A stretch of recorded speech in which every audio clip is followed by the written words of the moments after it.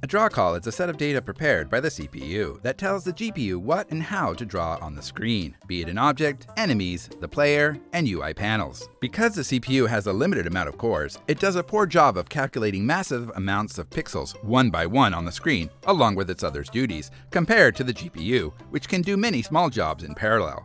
With basic draw calls, you can draw one object at a time on the screen. But with instancing, you can draw the same geometry multiple times with different properties on the screen, requiring fewer draw calls. Too many draw calls can cause performance issues, including draining your phone's battery, making it too hot, or worse, low frame rates. No, unacceptable. In Cocos Creator, if you want to see how many draw calls are being executed, you can see the number of draw calls on the bottom left of your test build. Other factors to look for in improving a game's performance include the triangles and vertice counts, the complexity of the surface shaders, lighting and shadow, and the memory you are using, and other various things.